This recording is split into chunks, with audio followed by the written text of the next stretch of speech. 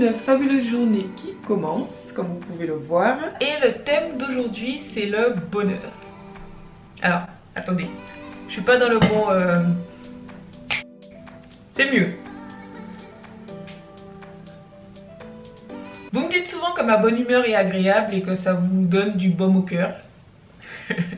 Et pourtant, je suis pas quelqu'un, je suis pas une personne joyeuse, quoi. Je suis pas euh, naturellement joyeuse. C'est quelque chose que j'ai travaillé. J'ai travaillé ma bonne humeur pour des raisons évidentes, parce que c'est mieux d'être heureux. Mais je pense que tout va un petit peu ensemble, vous savez. Quand on essaye d'être épanoui dans son alimentation, c'est quand même pour être épanoui dans la vie, c'est quand même pour être épanoui avec les autres, dans la nature, etc. Dans cette vidéo, je vais donc vous donner mes astuces, ce que je fais au quotidien pour essayer d'être joyeuse, essayer d'être de bonne humeur ou ne pas rester trop longtemps de mauvaise humeur et j'espère que ça va vous aider.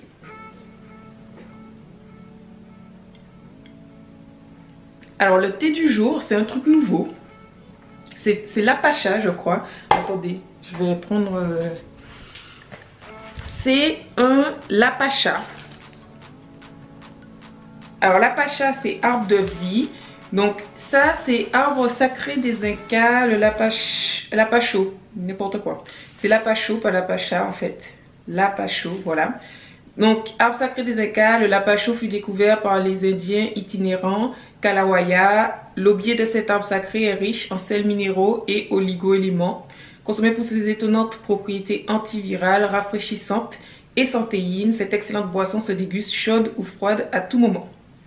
Donc là, je suis en train de le boire froid. Mais je pense que je vais le faire chauffer parce que c'est quand même l'hiver là. Donc euh, ça sera plus agréable, je pense. Pour en finir avec les thés, le premier conseil que je peux vous donner pour travailler votre humeur, surtout en hiver, pour essayer d'être de meilleure humeur, c'est de boire du thé noir. Le thé noir, c'est très bon pour l'humeur.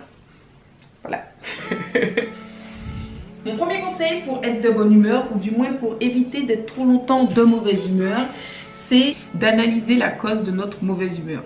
Souvent, je suis de mauvaise humeur simplement parce qu'il fait moche. Je pense que c'est pareil pour beaucoup de personnes. Mais si je n'analyse pas que c'est ça la cause première de ma mauvaise humeur, mais ça fait effet, boule de neige, pardon. En réalité, je sais pas, je suis de mauvaise humeur parce qu'il fait moche. Ensuite, quelques me bousculent, je suis encore plus de mauvaise humeur. Et au final, c'est presque impossible de revenir en arrière, vous voyez? Alors que si dès le début, je sais qu'il fait moche, je me dis tiens il fait moche, bon ça me déprime un peu, mais c'est pas grave et que je me secoue, je me dis on va quand même essayer de passer une bonne journée. Mais la personne qui va me bousculer, ça va moins m'impacter que si je m'étais pas dit ça avant, si j'avais pas fait le travail psychologique avant. Et c'est pareil pour le fait de pas beaucoup dormir, c'est pareil pour plein de petites choses en fait de la vie qui peuvent s'accumuler simplement parce qu'on a commencé du mauvais pied.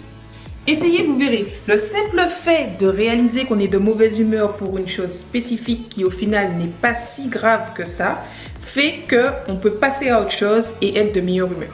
On va aller cuisiner un petit peu. Là, on va se faire des muffins aux pépites de chocolat. D'ailleurs, comme le thé noir, le cacao, c'est très très bon pour l'humeur.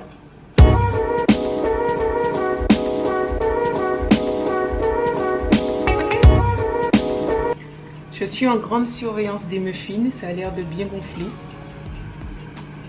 C'est pas mal, c'est pas mal. La deuxième chose que je fais pour essayer d'être de meilleure humeur, c'est de comprendre que les événements ne sont que des événements. Ça peut s'employer évidemment à ce que je vais dire avant, c'est-à-dire au fait qu'il pleuve petites contrariétés de la vie de tous les jours, mais c'est surtout pour les grosses contrariétés. Vous voyez, par exemple, si vous avez été licencié, si vous êtes tombé malade, des choses qui semblent injustes parfois et qu'on ne comprend pas.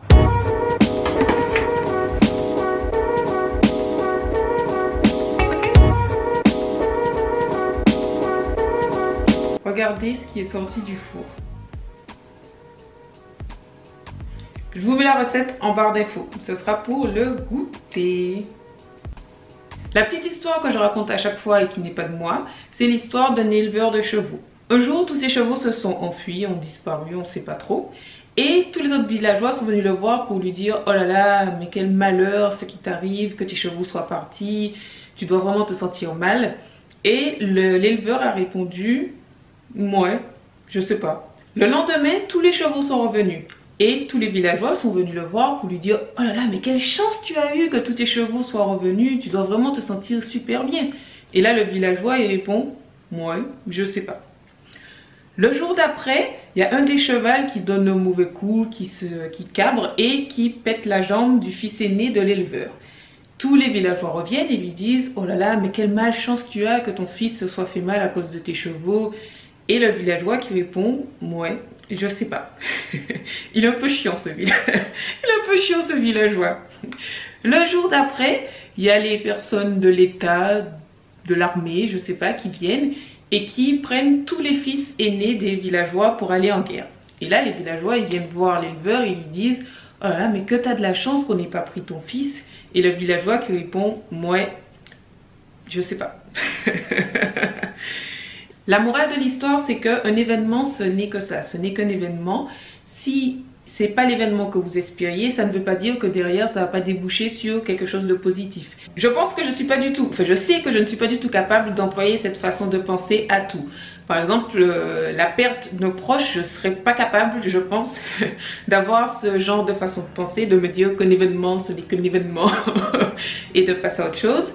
Mais ça permet de relativiser les choses un peu plus graves de la vie que le fait qu'il fasse moche. Ça permet de relativiser mais un setback dans mes projets par exemple ou des choses comme ça. On va aller manger. Le plat de ce midi, c'est un joli Bouddha bol, en toute objectivité.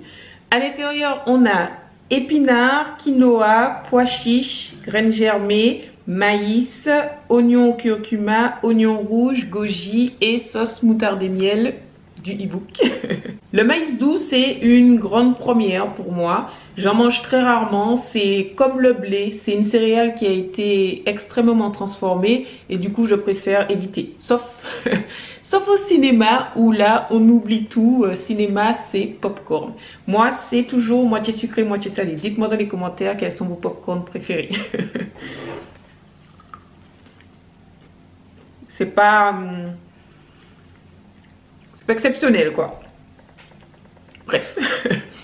La troisième chose que je fais, c'est que j'essaye d'être ma meilleure amie. J'avais entendu un truc qui m'avait paru hyper stupide sur le moment.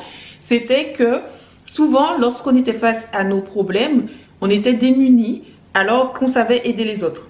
Et c'est vrai, souvent quand il y a ma meilleure amie qui a un problème, elle m'appelle je suis hyper calme, j'arrive à l'aider, j'arrive à la faire relativiser quand elle se sent nulle, j'arrive à la booster quand elle se sent démunie.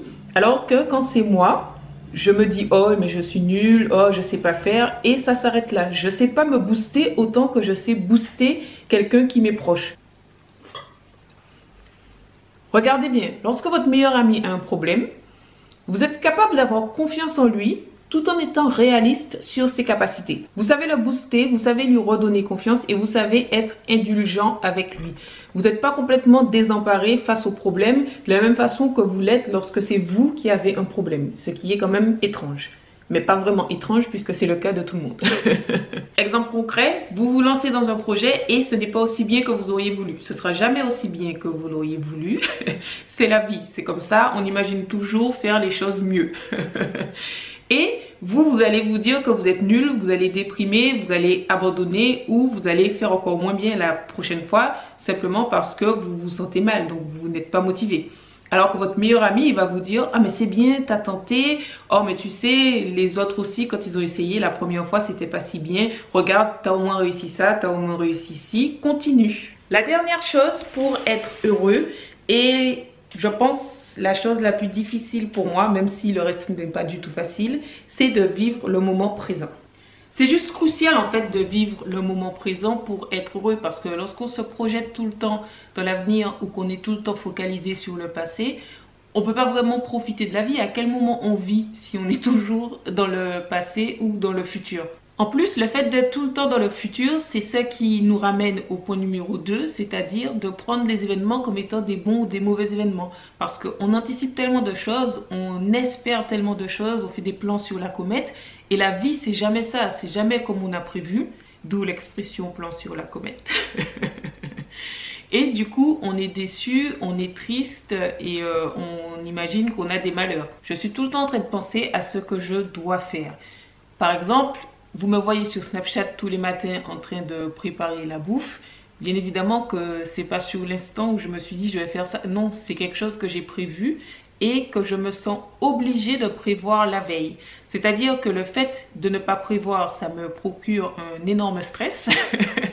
Mais c'est également stressant d'être toujours en train de se dire qu'il faut prévoir, vous voyez. Donc, c'est compliqué d'être heureux lorsque y a, on est entre le marteau et l'enclume.